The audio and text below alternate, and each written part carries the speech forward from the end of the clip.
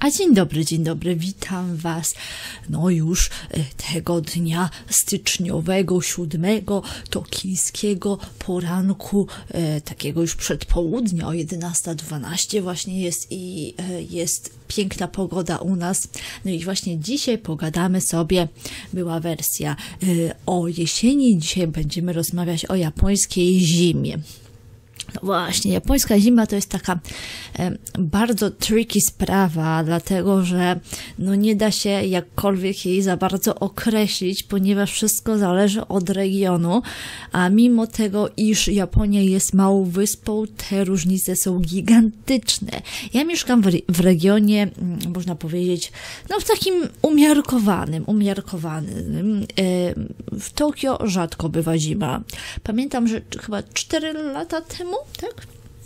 Była taka naprawdę walnęła w Japonii taka mocna zima, gdzie nawet w Tokio, słuchajcie, spadło mnóstwo śniegu, e, były oblodzone drogi i pamiętam, że to był po prostu szok dla kraju, ponieważ no, nie był na to przygotowany. Oczywiście te rejony e, północne, czyli całe Hokkaido, e, jak najbardziej dla nich to jest normalka, bo tam wiecie, minus 30 ileś, czy taki Białystok i e, Podlasie Japonii, w sensie tylko temperatury, bo mentalność to oczywiście Kansai, ale to nie ten temat, nie ten temat.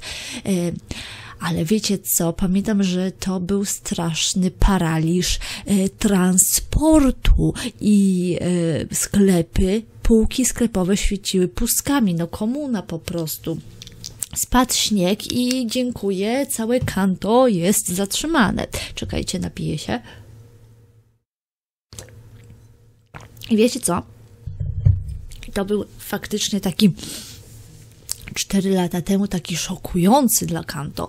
Rok, rzadko, dlatego mówię, rzadko tak się tutaj w Kanto, w Tokio zwłaszcza zdarza, że tak jest naprawdę podlaskowo y, zimno, ale na Podlasiu też ostatnio przez chyba ile już tam już, no już tak słuchajcie, te moje Podlasianie, tam już y, zimno jest, ale ni hu, hu tam śniegu trochę napada i się topi. Ja pamiętam za dzieciaka to były takie hałdy po, po y, półtora metra i się szło w takich mini tunelach.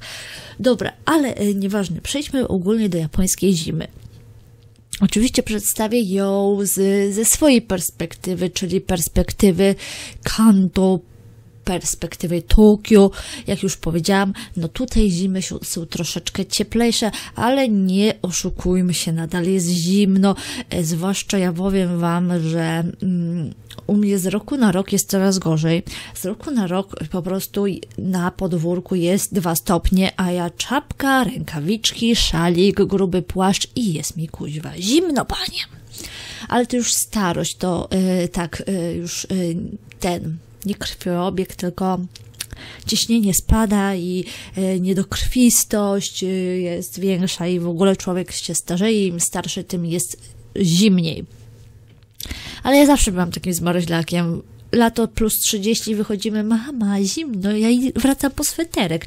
A moja mama, ty jebnięta jesteś. No. Dobra, bo już tak skaczę po topikach. Ale wiecie co, muszę wam powiedzieć, że jest jedna niefajna rzecz, której bardzo nie lubię, jeśli chodzi o japońskie, japońską zimę. To są takie dni, ja to nazywam y, mokrym zimnem. Dlatego, że zdajecie sobie sprawę, że Japonia to wyspa. Wyspa otoczona oceanem. Więc y, girl. No i morzem japońskim oczywiście. Y, I słuchajcie. Jak zawieje. Przychodzą czas, czas, czas o Jezu, no się dzisiaj nie wysłowi. Przychodzą czasami takie pojebane, najczęściej nocne. Nie wiem, jak to się one, nie wiem, mają kurwa y, ten terminarz, że tylko w nocy przychodzą, nie wiem, ale najczęściej są pod wieczór i e, nocą takie, takie wiatry trochę ala tajfunowe, takie naprawdę, takie, czuj, że idzie to po prostu z oceanu.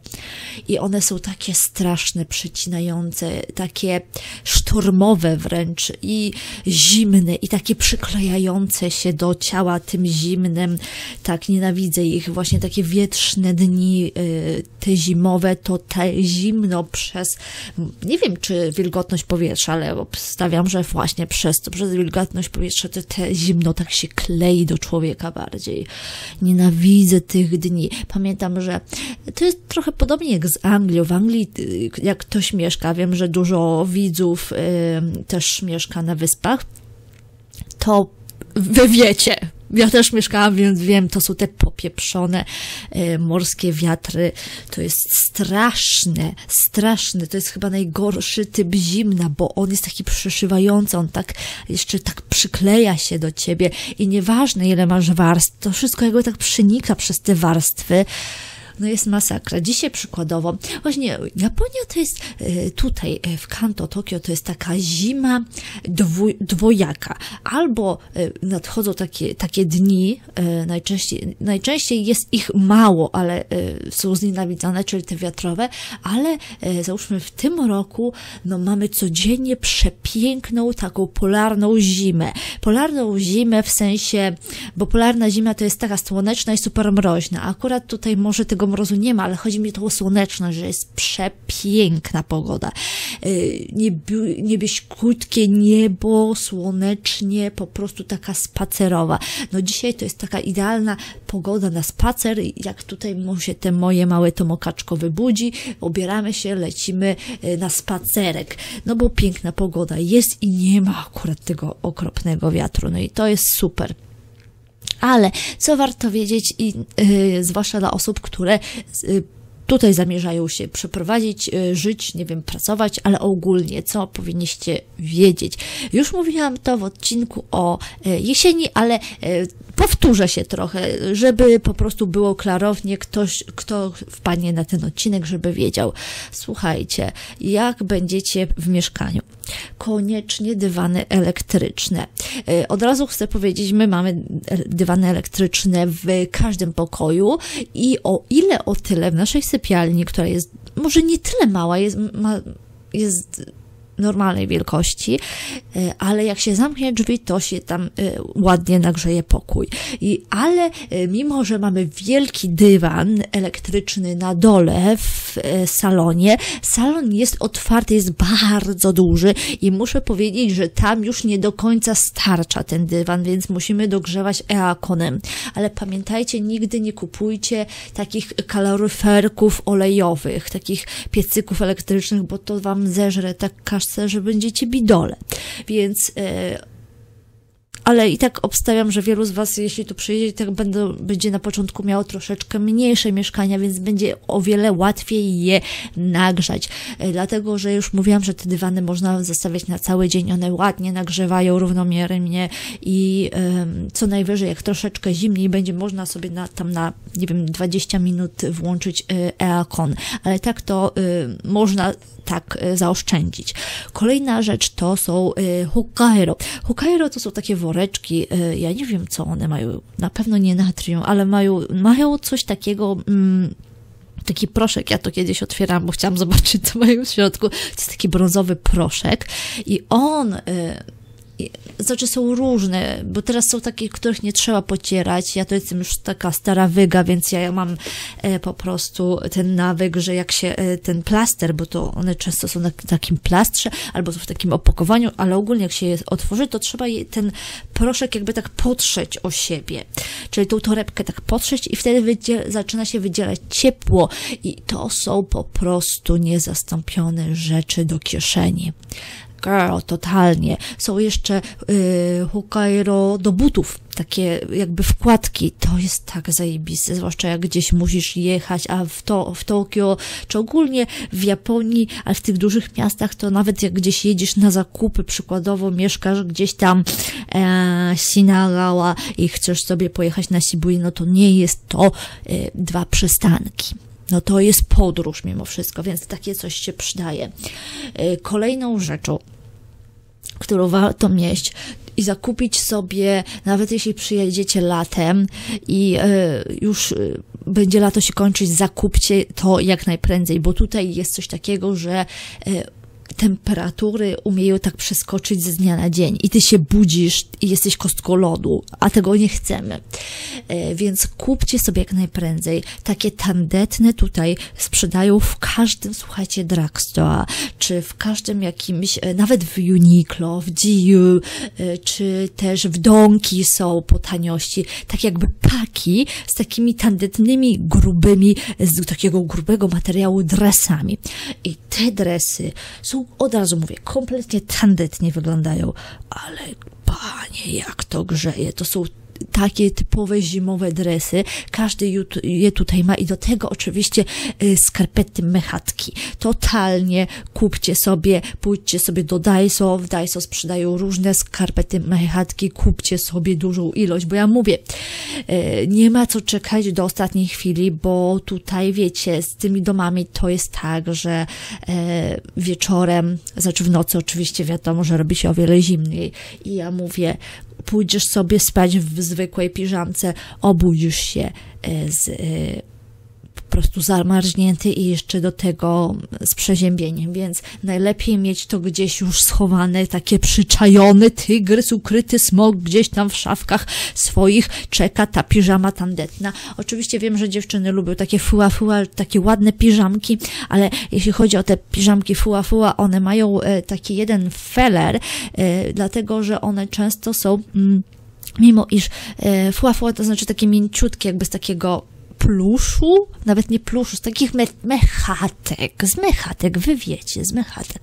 No i te piżamki z mechatek, muszę wam powiedzieć, że o tyle są, no są nawet ciepłe, ale tak pi razy drzwi to w ogóle nie są ciepłe. W sensie one są bardzo ładne i jak się tak normalnie chodzi, to są ciepłe, a później co jak co, one są często luźne i ta warstwa, na której jest mechatkowości, jest dość cienka, więc naprawdę polecam Wam od tych ładnych kawaii mechatkowych piżamek kupić sobie tandetne dresy, bo one świetnie przylegają do ciała, są ciepłe, na nogawkach mają takie ściągacze, więc żadna, żadne tam powietrze nie wchodzi, więc jest zajebiście. Czekajcie, piję jak jesteśmy już przy temacie ubrań, koniecznie kupcie sobie jakąś grubą bluzę albo właśnie hantyn. Hantyn często sprzedaje się w takich e, seju, to jest taki, e, znaczy seju, w seju to zależy gdzie, bo niektórzy mają seju, gdzie jest tylko spożywka,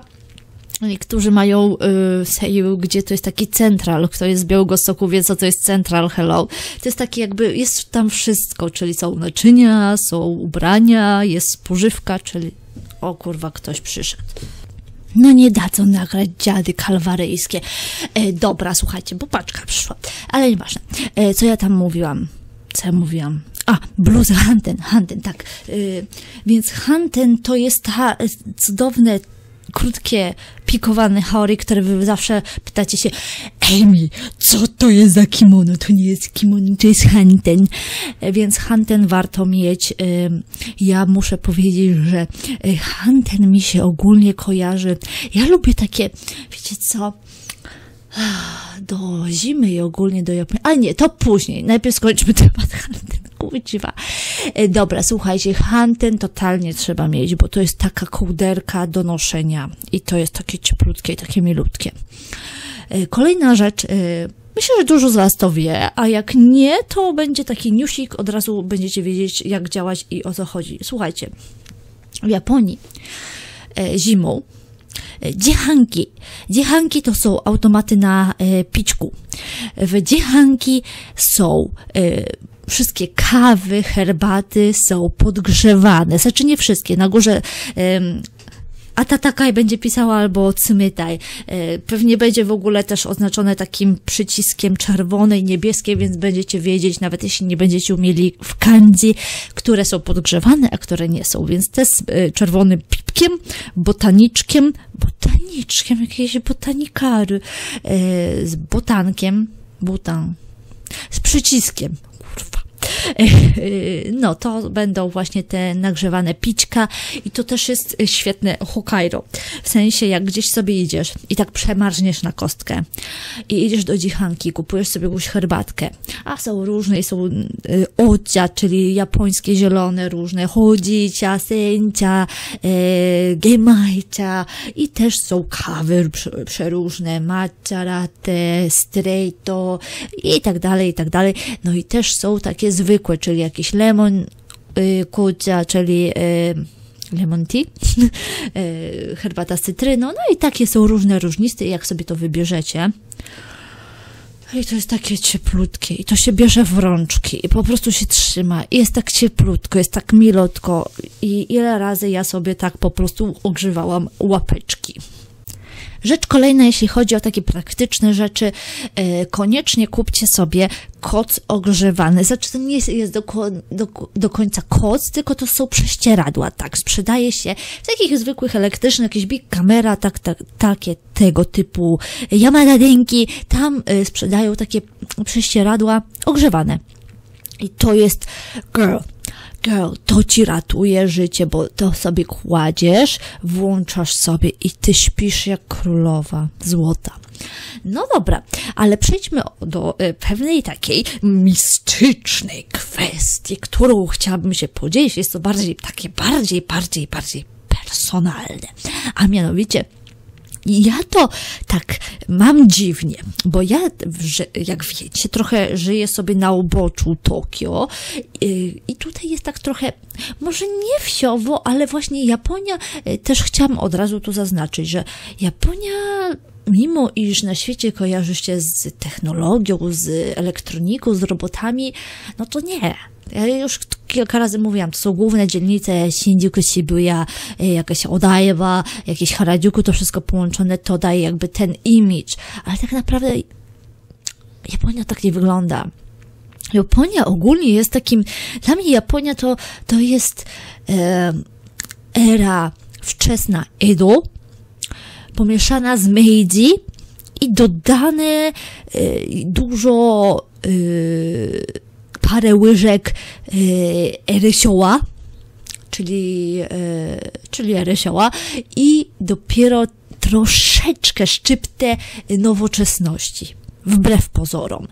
Ja czasami się czuję jak właśnie takie, właśnie w zimę często tak odczuwam, bo latem to jest troszeczkę inaczej, ale zimą czuję się jakbym była gdzieś no, świetnie wytłumaczyłaś.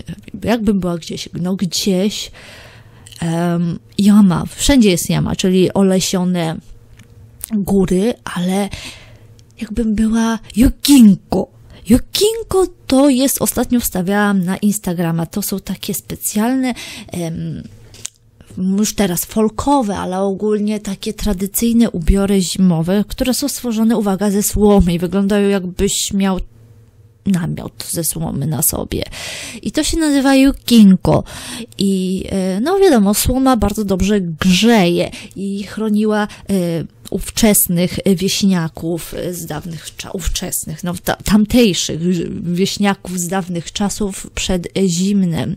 I ja się tak czuję gdzieś tam wrzucona w takie jama, czyli te olesione góry, gdzie jest jakaś minka, właśnie z typowym warabuki. Minka to są takie te domy jednorodzinne, wielkie, japońskie, takie drewniane Warabuki to są takie e, słomiane dachy, bardzo typowe na przykład w e, do, do Koniary.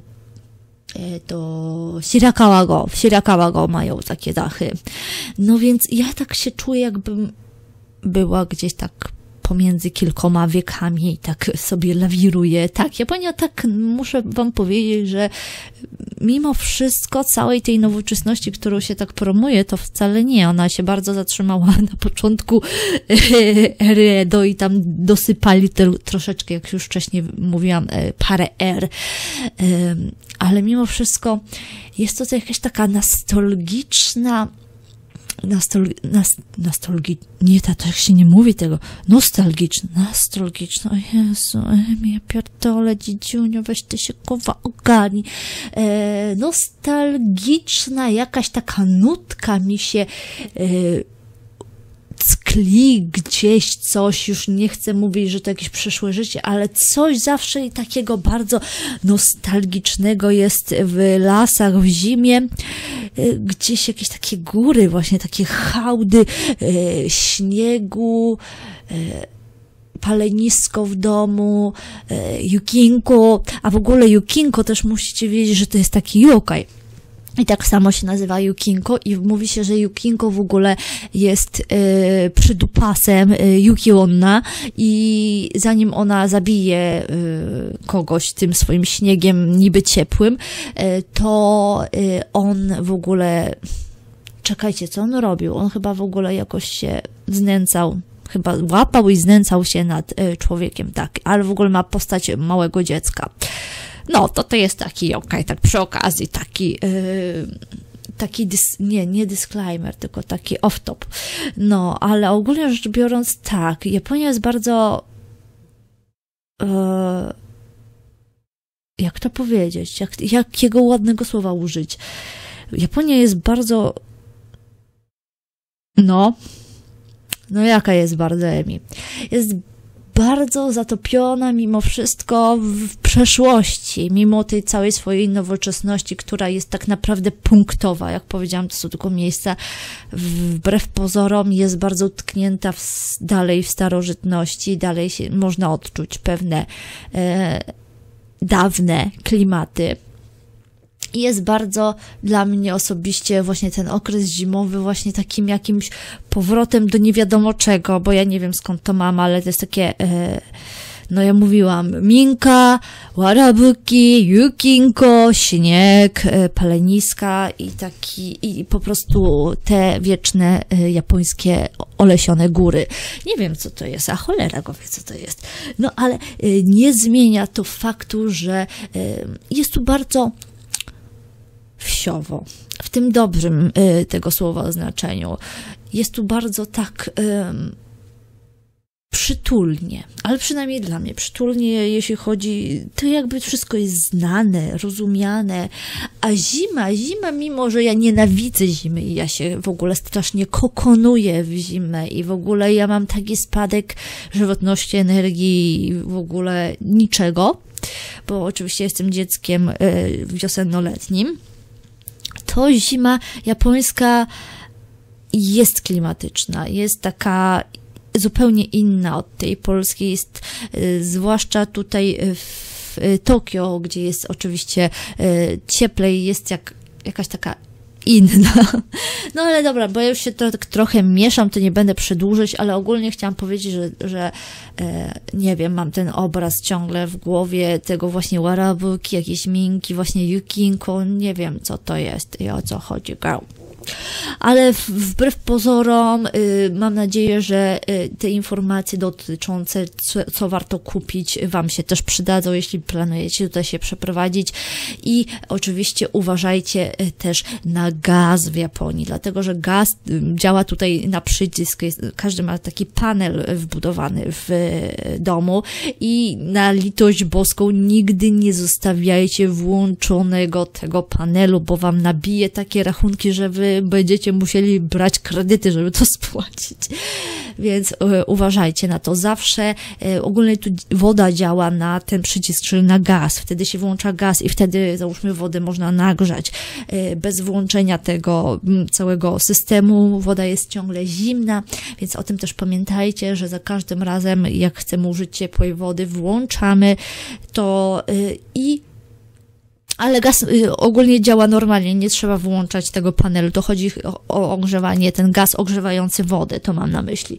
Więc y, pamiętajcie też y, za każdym razem wyłączać to, bo y, nabijecie sobie rachunki.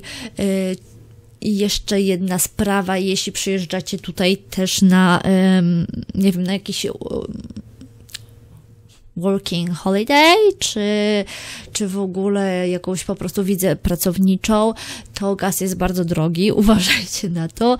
I no nie, nie wiem, czy polecałabym brać kąpiele, w sensie nie prysznic, tylko kąpiele w wannie y, codziennie, dlatego że to zużywa bardzo wody, dużo wody, aby napełnić i bardzo dużo gazu, więc też rachunki będą duże. Pamiętajcie o tym. No y, i to by było na dzisiaj na tyle. To było o japońskiej zimie. Jeśli macie jakieś pytania, y, też techniczne, jeśli chodzi o zimę i tak dalej, no to oczywiście zostawcie w komentarzach. No i widzimy się już niebawem. Napiszcie też swoje wrażenia. Możecie skomentować moje jakieś przebłyski z poprzednich rzeczy. Minka, Warabuki, Yukinku. No i widzimy się oczywiście już niebawem. Takala, dziane, matane, bye,